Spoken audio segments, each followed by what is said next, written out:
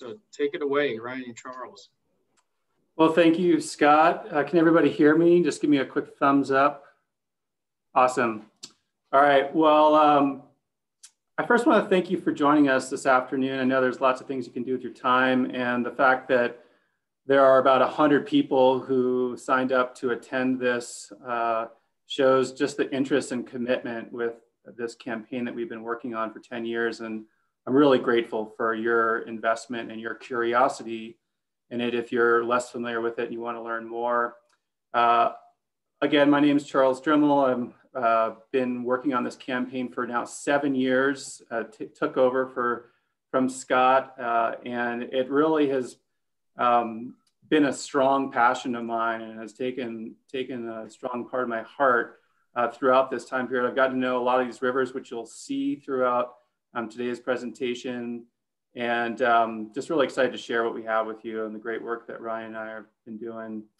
Um, so the first thing I want to talk about is, um, let's see if I can. Click here. Sorry, I just having some, there we go. Okay. So I'd like to start with a story here, and that is that um, this is a, a little corner of Northwest Montana, a couple hundred miles as the crow flies from the greater Yellowstone ecosystem. And this is this story is just to present some context and provide some context for you all. Back in the 1940s, the Bureau of Reclamation was looking for dams all across the West, uh, looking for places to build dams all across the West. And one of the places they looked was on the west side of Glacier National Park on the North Fork of the Flathead River. Well, you can imagine Glacier National Park uh, employees and staff were not very excited about this proposition and they said go look elsewhere. The public didn't want it there either because it would have flooded part of Glacier National Park.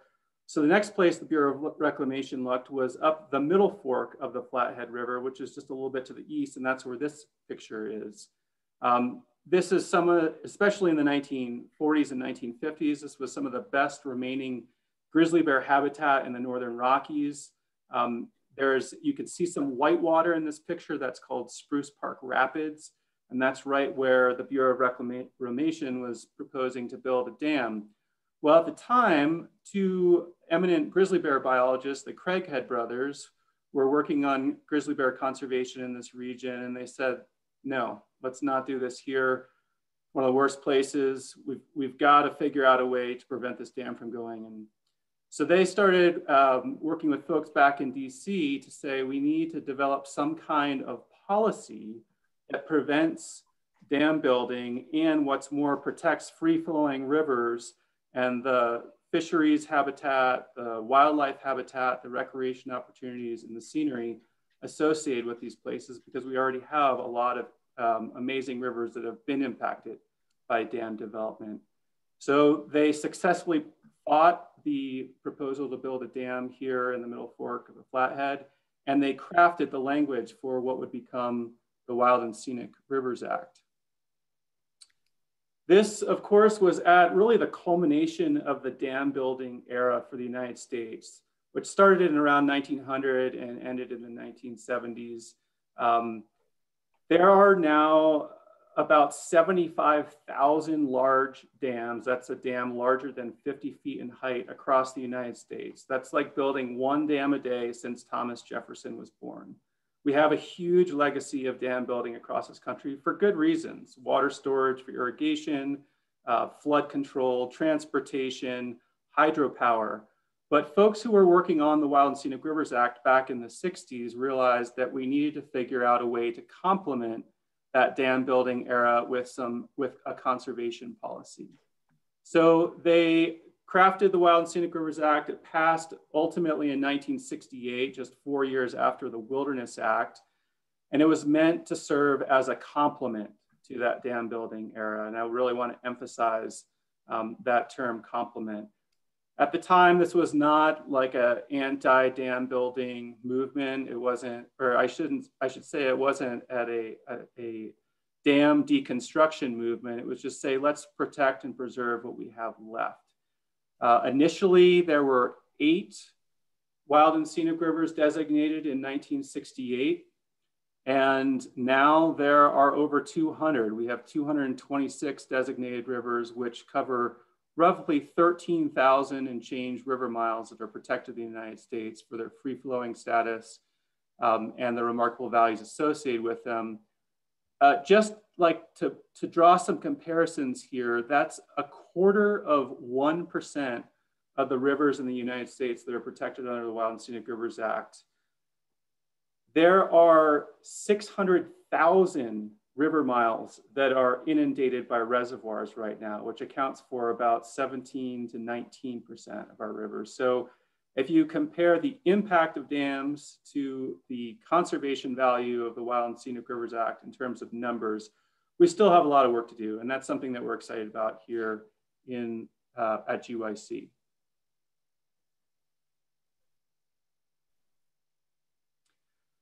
So quick question for you guys. Feel free to th throw um, some names in the chat. I know folks are scattered all across this country. I'm curious to know what rivers are protected as wild and scenic in your state, if you are familiar with that.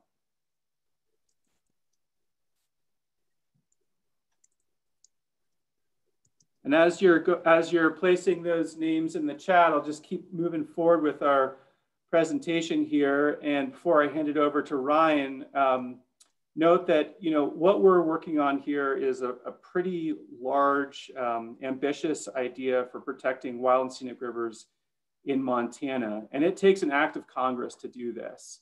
Um, there are two paths to wild and scenic river designation. The second path is for the governor to petition to the Secretary of Interior if there's an in-state um, river conservation system. We don't have that in Montana. We don't have that in Wyoming or Idaho. So really our path to protecting more free flowing rivers is just through an act of Congress. if we can see what rivers people are bringing up.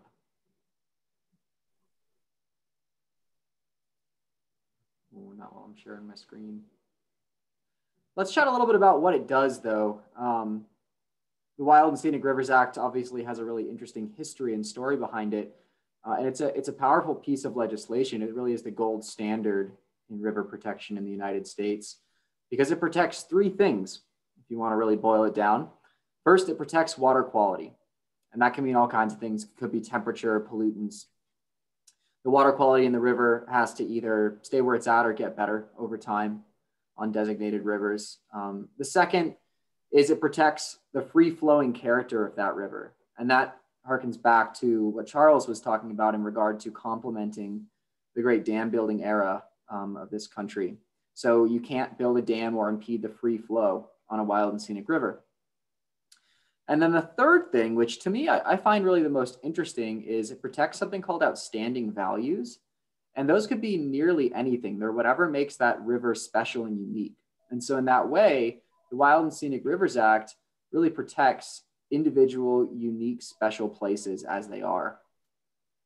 A couple examples of that. Um, it could be something like fisheries. Here's a photo of a beautiful native cutthroat trout. Um, if a river is particularly valuable for native fish species, that's a, a, reason for an outstanding value that qualifies it for wild and scenic. Um, it could be wildlife habitat. And it can also be um, human characteristics on the river, if it has cultural values, historic values um, for indigenous peoples.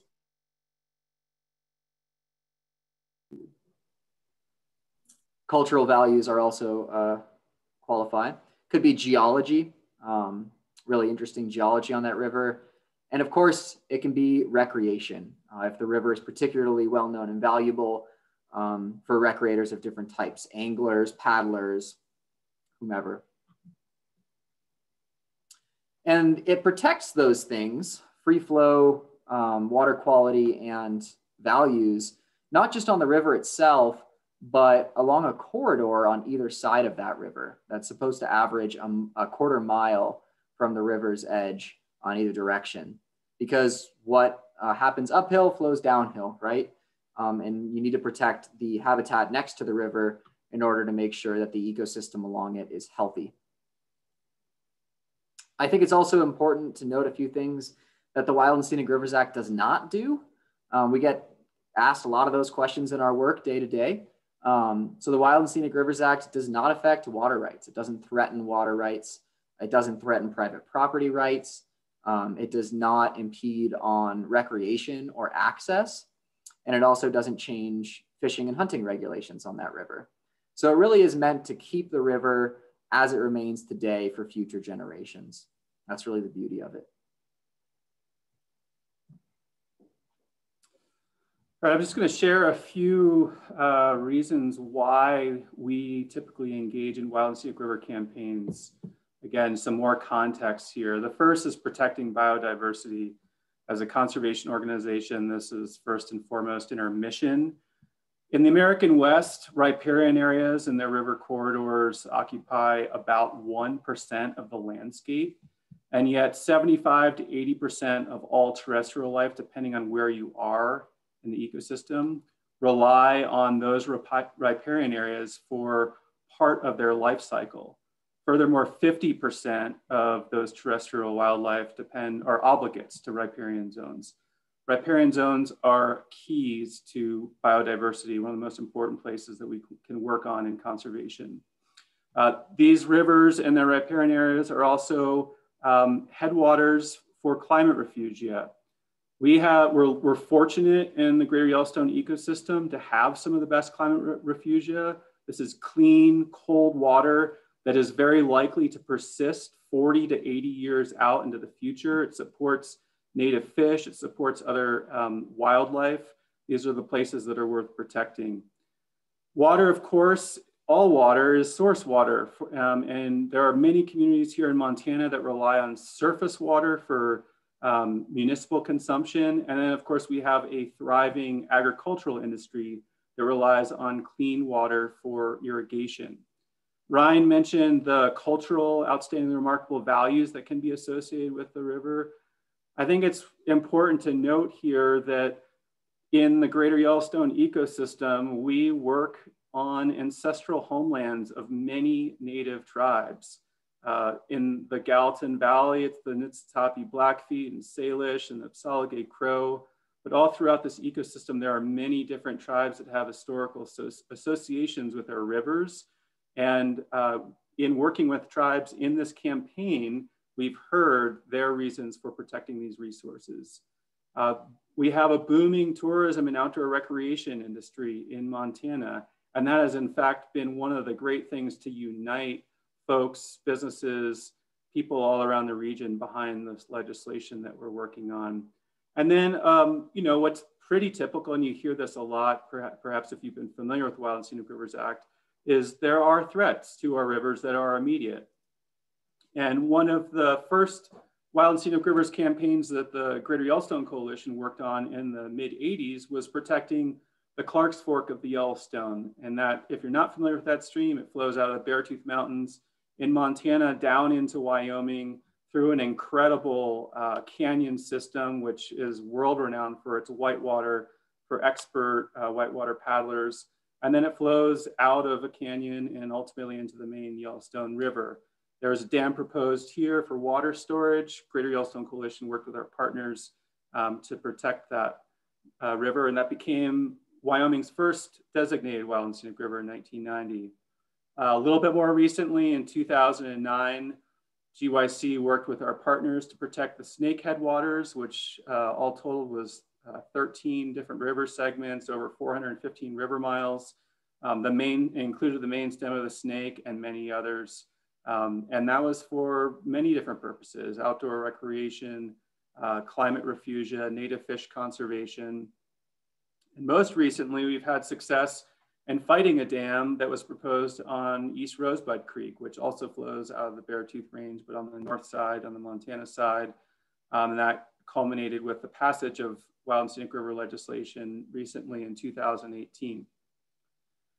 When GYC successfully passed the Snake Headwaters uh, Wild and Scenic Bill in 2009. That was coupled with a big omnibus land package in Congress that protect, protected other wild and scenic rivers in Western Idaho and the Owyhee Canyon system, and then down in Utah. Um, and we realized at the time that, you know what, if, if we can work on wild and scenic river conservation in these politically more conservative states, we should certainly be able to do something of this nature in Montana. we knew intuitively that Montanans care about rivers. And of course, economically, people come from all over the world to recreate here, particularly to fly fish our rivers. So we, we, we realized there was an opportunity um, to, to elevate river conservation and start diversifying uh, the stakeholders who might be interested in this and working with more partners. So we formed a coalition called Montanans for Healthy Rivers, which is made up of private landowners, watershed groups, conservation groups, sportsmen, brick and mortar businesses, and big businesses um, to come together to support new wild and scenic river legislation. And we, we kind of have, have um, stood behind this idea that collectively river conservation is important for our economy, it's important for our environment, and it's important for our way of life.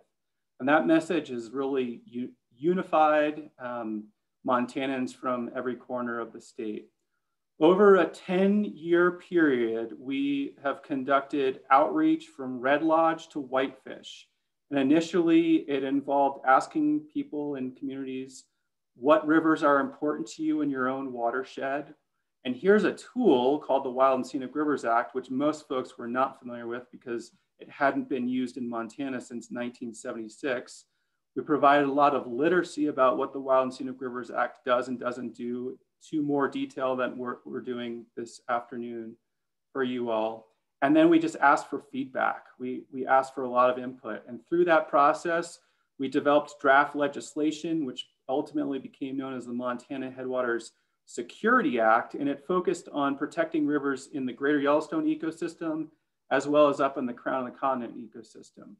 We shopped that around again with the same communities and said, are these the right rivers? We also every year went back to Washington, DC to work with our uh, US delegation to hear their support, to hear their input on this. Um, and at the same time, while we were doing this, the East Rosebud Wild and Scenic Rivers Bill got traction and support from our whole delegation. It became bipartisan. There was a lot of excitement. And ultimately, what we heard from our delegation as we were passing the East Rosebud bill is we think that the best next path for wild and scenic in Montana is a more geographically focused bill. And the feedback we received was that the most support exists within the greater Yellowstone ecosystem. And so from there, we crafted um, this next legislation, um, which became the Montana Headwaters uh, Legacy Act. And Ryan's gonna provide a little bit of detail about what these rivers are, where they are, and why they're important. Who doesn't love a good map? These are, these dark uh, blue lines represent the river segments that we have our eye on now, the ones that we're working to protect as wild and scenic. Just to orient folks, um, of course, Yellowstone National Park is there in purple. All of the green land is uh, public national forest land. And then the dark green areas actually represent wilderness. Um, East Rosebud Creek is that red line on the right side of the large map. So the Montana Headwaters Legacy Act, which Charles and I spend a lot of time thinking about and talking about every day, uh, it totals about 336 river miles combined through all these segments. Um, that's 17 different rivers and streams throughout the greater Yellowstone ecosystem, as well as the Smith River and its main tributary, Tenderfoot Creek, which is in that little um, black box map that's to the north. Um, I'm gonna chat a little bit about some of these segments just to give you all an idea of the special places that we're working on. And while I do, I'd love to hear in the chat which of Greater Yellowstone's rivers are most familiar to you all? Which do you have a personal connection with or um, want to visit one day? Would love to know the names that really stand out to you. So first up, this is a gorgeous shot of the upper Madison River. Um, it was on the left side of that map. And the Madison is actually a river that we are trying to protect two separate segments as wild and scenic. So when you, you protect a river as wild and scenic, you're actually protecting a specific mileage of that river.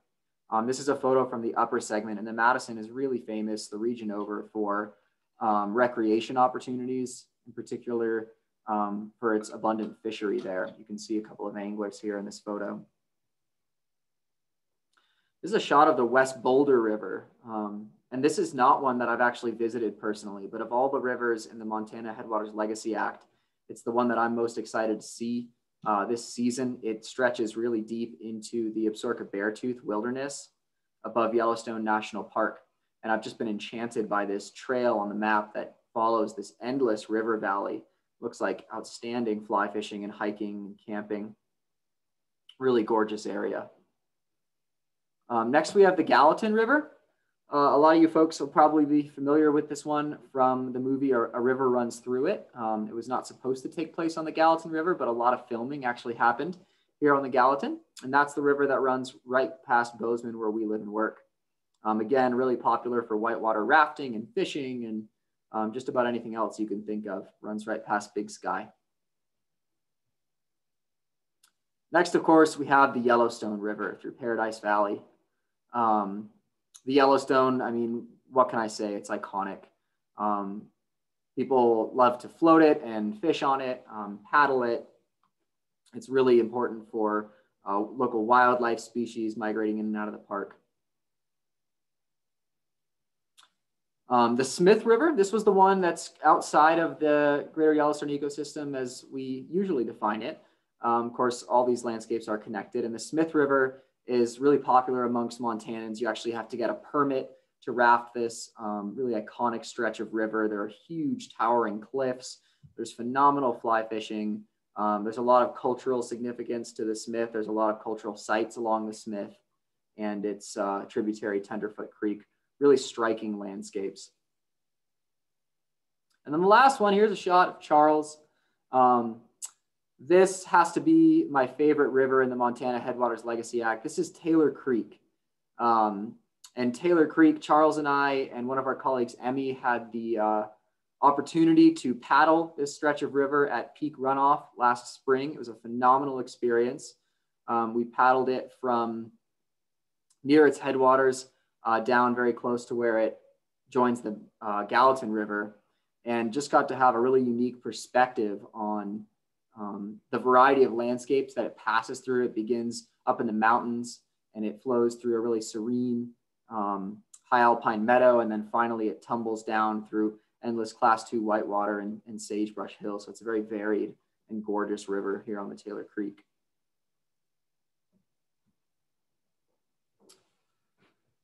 So you can imagine with rivers like that in our backyard here in Montana, Montanans get very excited about river conservation. Uh, we have known intuitively that Montanans care about their rivers, but we felt as part of our campaign that it'd be really important to have some um, statistical significance. And so we, we've done a number of polls over the years. Um, not, we've, we've paid professional pollsters to do this work. Um, and one of the first things that we learned is that 86% of Montanans think that protecting our rivers is good for our economy and way of life. We also learned that two thirds of Montanans recreate on a river annually, shows you that, that connection. That also doesn't include the irrigation connection, the agricultural connection, which would bump it up even more. And then last year, uh, we had some questions on a University of Montana statewide poll um, that showed to our excitement 79% of Montanans want to see the Montana Headwaters Legacy Act passed in Congress. That's eight out of 10 Montanans. It's super, super powerful. And it's really hard, you know, when, when you're talking about natural resource conservation policy and um, bills that are in Congress, it's, it's really hard to find that kind of support um, for legislation. And we have it right here in Montana. Um, and and there's there's lots of reasons why. I mean, obviously, some of the photographs that Ryan showed are stunning, um, but there's there's I want to just highlight two key pieces. And one is our outdoor recreation is huge right now in Montana, and it continues to grow. It's a 7.1 billion dollar industry, and our agricultural economy is gigantic as well, 5.2 billion dollar industry. Combined it's important that we, and people know, I should say, that healthy rivers, clean water support both of these industries. So we are excited to move forward in, in protecting these landscapes. We have incredible momentum right now with this legislation. In a 10 plus year period of doing outreach, we've gotten endorsements from over a thousand Montanan businesses That also includes trade groups that represent fishing and backcountry outfitting. We have all kinds of small and large outdoor recreation companies and, and hospitality companies. Uh, we also have diversity here. There are, are, developers who are on board with this legislation. One of the largest, I should say the largest platinum palladium mining company in North America supports this and the river, the Stillwater River flows right through their property um, in the Stillwater Valley. We have tribes that support this. We have county commissions that have endorsed it and mayors at a very local government level. And across the state, we've cultivated the support from 3,000 Montanans. Through social media, we've got over 6,000 followers on our Montanans for Healthy Rivers Facebook page. We've got a newsletter of over 3,000. And this all led to Senator Tester um, last year saying, yeah, let's do this. I want to introduce this legislation and I want to make this happen. Um, and so we had a real exciting moment. You can see this happen during COVID. Um, of course, still happen, still going on, but uh, we, we were being incredibly careful out here for a, a public event in November. Um, you could see fresh snow. This is right in front of the Gallatin River. Um, and Senator Tester uh, formally introduced the Montana Headwaters Legacy Act. And that was, of course, in the last congressional ses session, which was 116th Congress. So we are now in a phase where we're looking at how do we pass this legislation. The first step is to get this bill reintroduced in the 117th Congress, which we have a commitment from Senator Tester to do. But there's some things that are really important here. Um, one is that, you know, we're incredibly grateful to have a sponsor. And yet this river conservation Montana is a nonpartisan issue. We've proven that through the polling. We've proven that through the endorsements that we have from landowners, from business owners. People don't, you know, it doesn't matter who you voted for or what party you affiliate yourself with. We have folks from all walks of life that support this Montana Headwaters Legacy Act, and we're really proud of that. And so our next step is to continue to demonstrate that support from the grassroots level to the grass tops level to the other two members of our Montana US delegation, which are Senator Daines and Representative Rosendale, so that they get on board with this and, and um, co-sponsor the legislation in the Senate and introduce companion le legislation on the House side. So as we wrap up um, our presentation, there are two things. If you're, if you feel moved about this work and connected to these rivers, there's two things that you guys can do to help us here. We've created a uh, Take Action website, which is at the top here. There's already a, a pre-written letter to Senator Daines and Representative Rosendale asking them to support this legislation. There's also a space for you to personalize it, and we really encourage you to personalize it, especially if you have a connection to the, these rivers or this landscape. Um, and then second, uh, Scott started off saying, we've been working on this campaign for 10, 11 years now. And it's, you know, our goal is to pass this legislation by the end of this legislative session, but there's all kinds of variables that come up that are totally out of our control that are happening in Washington, DC. And it takes financial resources for us to continue um, with these efforts. Uh, we've had incredible support over the years and we need to continue um, that financial support. So if you have it, uh, if you have the means, we really appreciate anything that you can give from five $5 to $5,000 um, and anything in between. Um, so I think we're gonna open it up for Q&A and um, yeah, feel free to either put something in the chat um, or turn your microphone off of mute and speak up. Ryan and I can't see the chat right now. So I, may, I might ask um, uh, maybe Christy to moderate any of the questions that come from the chat.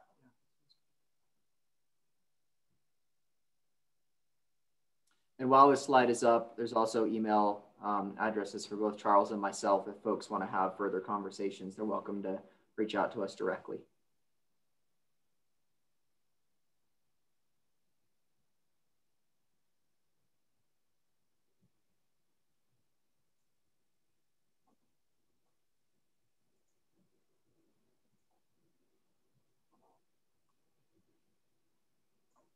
We're not seeing any questions at the moment, but um, Patrick wrote in to say that he's already asked one of his representatives, our senators, to support it out of Maryland. So thank you for that. Um, Patricia Simmons does have a question. Um, what federal agency would be involved with wild and scenic rivers so we can ask the Biden administration to support this? There are a couple of different agencies that will be involved in this. So as you can see from, or you maybe remember from the map that Ryan shared, um, most of these rivers are flowing through the Custer Gallatin National Forest. So that's the Forest Service that would be involved in managing these wild and scenic rivers or future wild and scenic rivers. The, the Madison River has uh, some segments that flow through BLM, and that's uh, through the Bear Trap Canyon and below. And there's been a ton of interest from folks coming from Madison County and Gallatin County to expand the uh, Madison uh, boundary and the Madison corridor further downstream uh, onto more BLM and state lands that are in the center of the Madison Valley. So there could be more administration by the Bureau of Land Management. So essentially two land agencies would ultimately be in charge of managing these wild and scenic rivers. Good question. Another question here for you two. Um, what what timeline is typical? This is from Ryan Sargent. What timeline is typical for designating a river as wild and scenic? Yeah, that's a that's another great question. What I've heard is that most wild and scenic river campaigns average about seven years. We're past that. Um, but we also had the good fortune of passing the East Rosebud Wild and Scenic Rivers Act while we were working on this campaign. So we had a, a, a very valuable and beautiful distraction. Um, but, you know, this is a big, it's an ambitious effort. You know, we're looking similar to the Snake Headwaters, where we're looking on a watershed scale of Wild and Scenic River designations, we're covering multiple watersheds here. You know, there's the um, components of the Missouri headwaters, components of the Yellowstone headwaters, and there's, unlike the Snake, where you had really one big community of Jackson that's focused on those designations, we have communities sp spread from Ennis to Big Sky to Bozeman to Livingston and Gardiner, all the way over to Red Lodge. Um, and then the in, in Montana, everybody cares about the Smith, whether you're in Whitefish, Helena, Missoula, or Billings.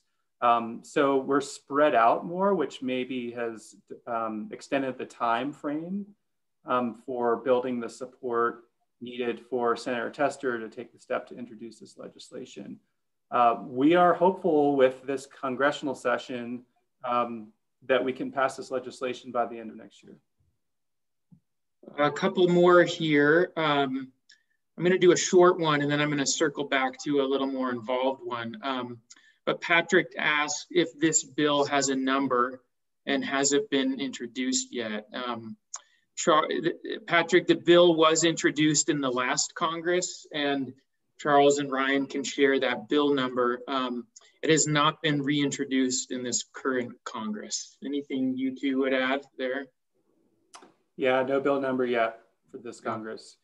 Mm-hmm. Another, this is a complicated one, uh, but a good one. This is from Ken and Colette, who are in my home state of Idaho. Um, they say here in Idaho, our legislature passes bills to kill 90% of the wolf population. How do you in Montana deal with 79% of your citizens supporting river protection, yet the elected officials don't seem to share a sense of caring for nature in general, much less waterways? Do you want to start?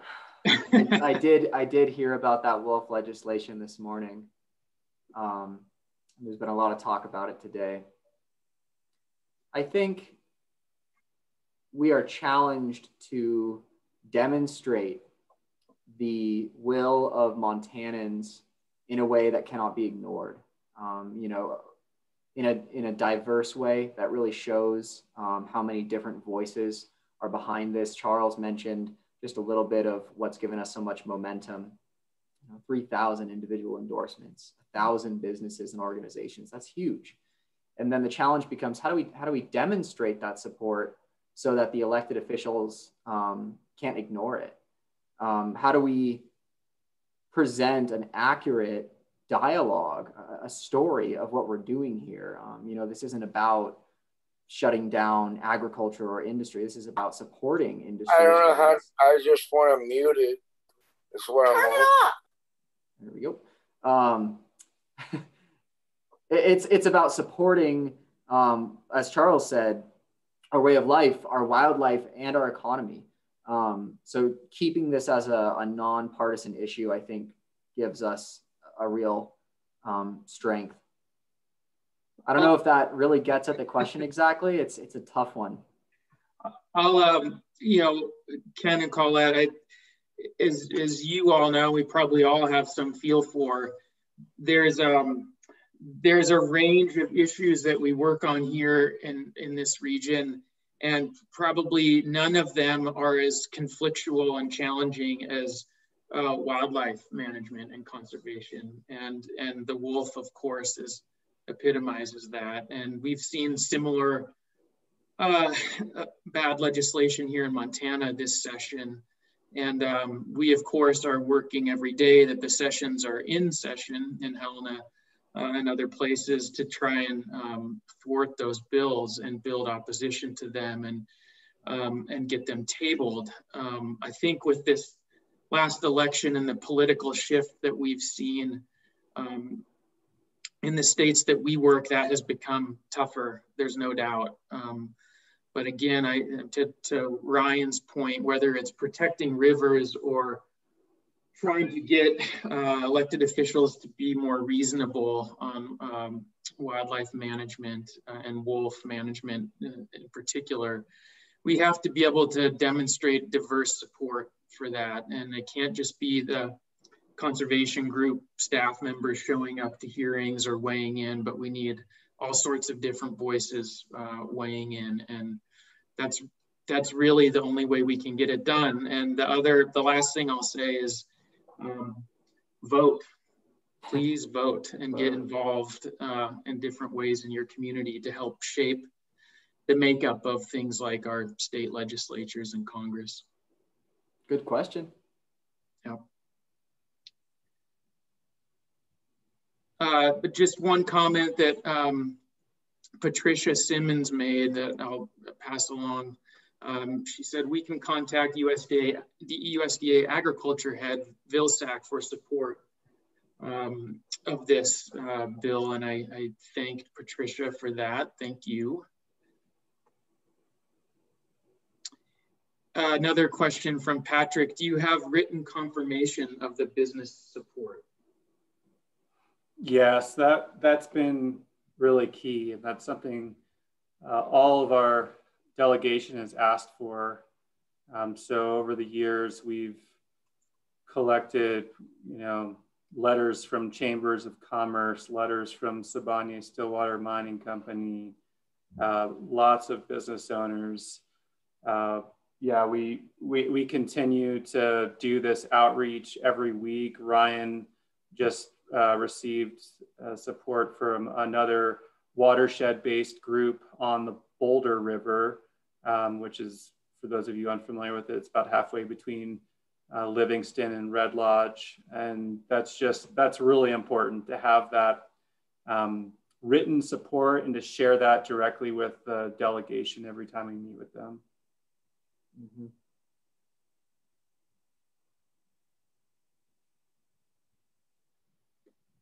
Other questions or um, topics folks want to discuss related to to this effort or others that GYC is involved in? While folks are uh, thinking about more questions, I just want to uh, highlight too that there are two more upcoming webinars happening, one May 18th and then a, uh, a second one May 25th. Uh, they're really interesting topics that our staff are working on here and I highly encourage you uh, to take a look at these and, and sign up for them. You, you will learn a lot. Okay. Hey, Ryan and Charles, if you guys want to um, uh, maybe stop the screen share. There we go.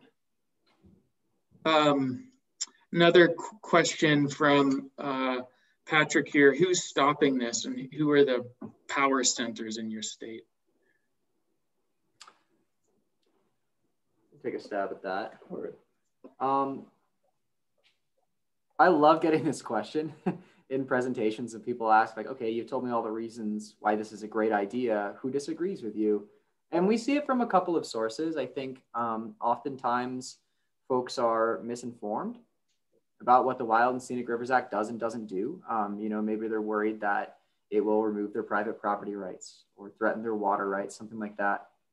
Uh, and then we also see opposition for ideological reasons, folks who believe that any level of federal um, legislation, federal designation is kind of a slippery slope towards losing local control. Um, we really like to emphasize that the Wild and Scenic Rivers Act just allows um, federal agencies to consider the river's health when making decisions that they decisions that they had to make anyway. Now they get to consider the river's free flow and, and water quality and those values when they make these decisions. In terms of who it is, um, I think it varies, but it's it kind of comes from those sources. Charles, anything you would add to that? Yeah, right now we don't have any organized opposition um, it, the folks who have spoken up against this, which are very, very, very small percentage, um, mm-hmm. are just kind of in different pockets across the state, but there's no organization to them. And another thing that we tell folks is that 85% of these rivers that are in this legislation are flowing on public lands. So they're already managed as um, rivers by the public land agencies, and most of those are managed as eligible wild and scenic rivers, which means they've gone through a internal administrative review. Um, so we're, we're actually talking about trying to maintain um, the status quo to a large uh, extent and provide an insurance policy for keeping things as they are. I will just add on one quick thing to that. Our, our organizing right now and outreach is pretty directly focused on uh, people and entities who are important to, important to our Senator Steve Daines and um, new Representative Matt Rosendale. Um, as was pointed out early, we need earlier we need a an introduction of this legislation in the House. And so we really need to have Representative Rosendale on board uh, and in his seat on the House, House Natural Resources Committee. Um, and then it would be uh, very helpful to have Senator Steve Daines supporting this as well. And so I know that a lot of the asks that Charles and Ryan are making of our supporters right now and um, the letter that they referenced that's on our website, um, those are directed at Senator Daines and, and Congressman um, Rosendale. And so if you have the chance um, to weigh in with them directly, we would really appreciate it. The more people they're hearing from as they kind of keep uh, their finger on the pulse of this work, the better. Um, and especially, uh, you know, from a diversity of people too. Thanks, Scott. And as of yesterday in the census results, we'll, we'll have another uh, House representative in Montana to work with here in the mm -hmm. not too distant future. Fingers crossed.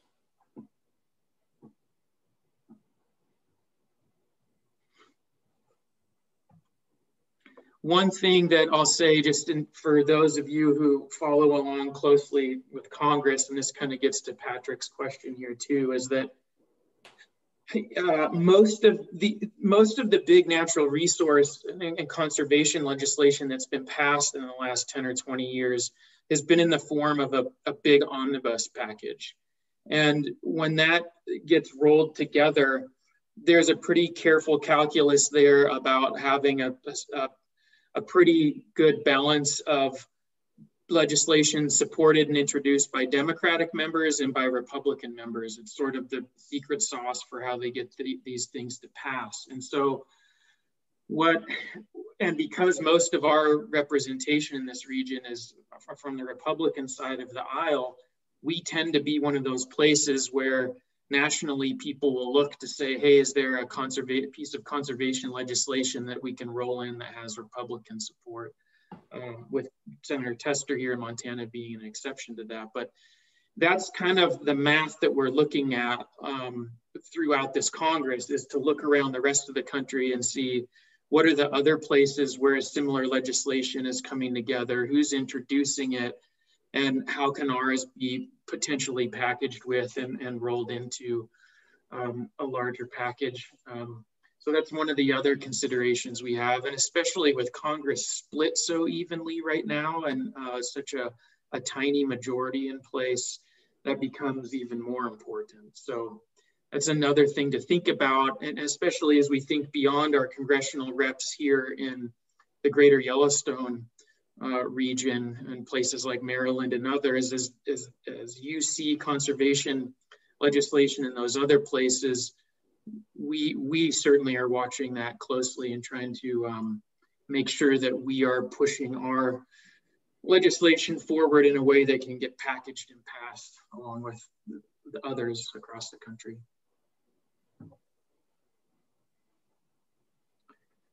We're about out of time here. Um, and Charles mentioned a couple of the other uh, webinars we have coming up on May 18th. Um, conserving open landscapes, the public and private land relationship, and then more valuable than gold, uh, which is a kind of an overview of the mining threats here in the region on the 25th. Um, so please tune in to those. You can find more information about those on your website, uh, on our website.